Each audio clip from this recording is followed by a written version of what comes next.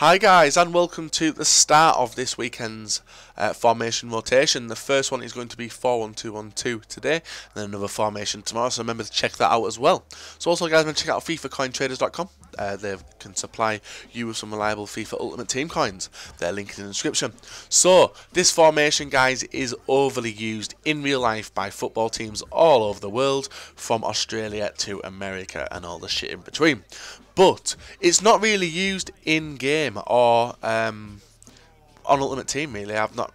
I don't really come up against this formation. It's usually a five at the back, a three-five-two a 3-4-2-1 or other formations like that. So let we're going to delve in and hopefully find out why the hell people don't use it because on paper by the looks of it it looks fairly solid solid sorry there is cover down the left there's cover down the right there isn't really any gaps in these players in uh, uh, certain positions so in your opinion, why do you think it's not really used?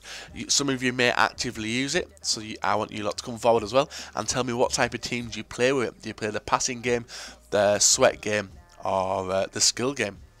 So let me know in the comment section below.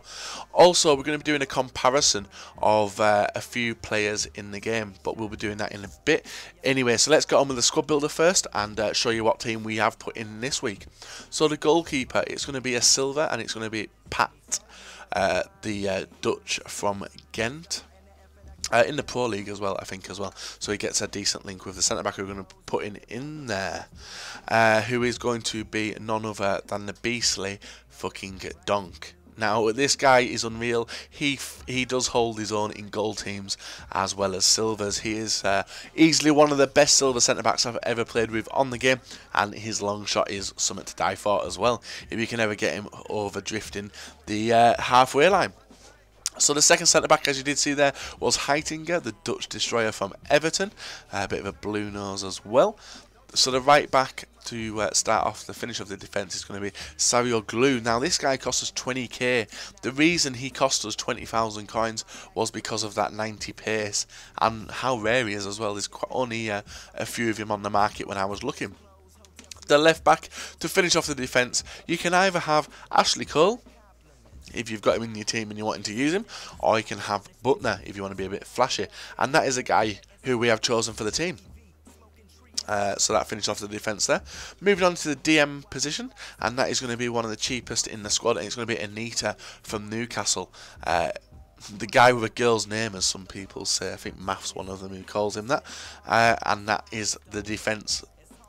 Looking quite good, actually. Um, and quite enjoyable to play with. So the left midfield is going to be another Manchester United player. It's going to be Young, so he'll get a strong link with Buttner and uh, also the striker who we'll put in there. The right midfield is going to be Amrabat, but you can have Antelope depending on if you want to play a silver player there or not. But we went with this guy because he's got 4 star skills, 4 star weak foot, and his 85 pace and 82 dribbling stats did look godly. But unfortunately, he doesn't feel like that in game, and his card's really weird because it looks like he's got hair, but in game he's bald. It's a bit of a mind fuck.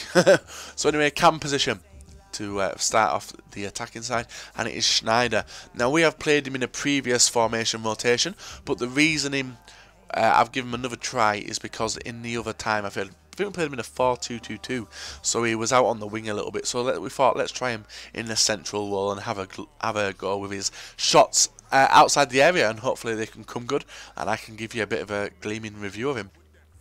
So the strikers to finish off the business end of the team, and the first one is going to be Van Persie, the 88 rated Dutch destroyer, and uh, actually there's quite a few Dutch people in this team, I didn't even realise. But anyway, he is an absolute animal, and his strike partner, as you did see there, was Inform Yilmaz. Now with Yilmaz, we did pack that bastard, so that's the reason we did throw him in there, and no doubt soon after this video has gone out, we will be getting rid because of. Uh, I don't think I'll ever use him again. Unfortunately, a lot of people do rave about Yil Yilmaz, especially Capgun Tom and his uh, subscribers, but unfortunately I don't see the hype. Uh, never have, never will. Unfortunately, it's a bit slow for me. So that's the team built, guys. It is a full chem team as usual. It has got one, two, three, four dead links, so don't even start going down that hybrid road because I'm building teams for people to use, not not claiming proper hybrids or the best hybrids on the game, but you can build them if you want.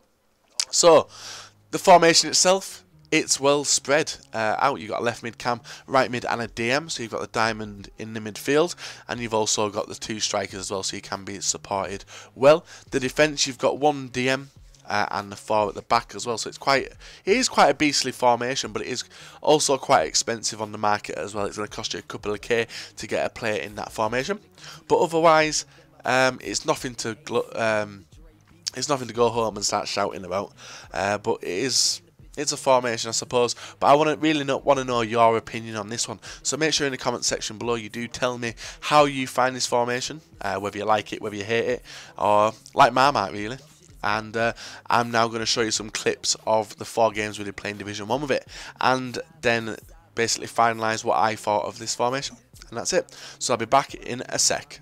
So we're back guys and these are the highlights of the games we did play in Division 1. Now this formation didn't really find it that interesting. The only player I really did enjoy using was Van Persie himself. As you can see it's a very basic formation, nothing out of the ordinary with the overlapping runs and stuff like that. So you just, yeah, with this formation you are relying on the two front uh, two front strikers. If you get them wrong, you will be left in a hell of a lot of trouble. Thank God we had Van Persie in this team and also Amrabat, who we did we had we we were forced to tramp a few times because Yilmaz, Inform Yilmaz was absolutely shite. really do not like him. Uh, so thank God Amrabat did step up his game and uh, get into positions we needed him to. But Van Persie was a lifesaver as well, uh, scoring goals like this. But then again, he is expected to score goals being in that uh, position and formation. But yeah, 4 4 4 1 2 1 2 wasn't really a formation I've enjoyed using. I probably will not go back to it, like I've said with previous formations. Uh, mainly due to the fact that you are relying a hell of a lot on the two front two. You're not relying on any, any other game winners. Even though Sneijder was at cam, he did ping off some nice passing. Uh, some if you can get him in a shooting position outside the area, then yeah, he'll uh, he'll pop a shot like he did just see in the previous clip. But yeah, until then, I won't be going back, unfortunately, not even in head to head. So uh, yeah, the goal's been very basic, not been much uh, much wonder goals, unfortunately. But that's what's going to happen when I'm playing a formation I'm not really entertaining with. So guys, if you have enjoyed this episode, please leave it a like, comment in the section below, and remember to subscribe if you're not subscribed. Also remember to check out FIFACoinTraders.com. Their link is in the description. And until next time, guys, I will see you later.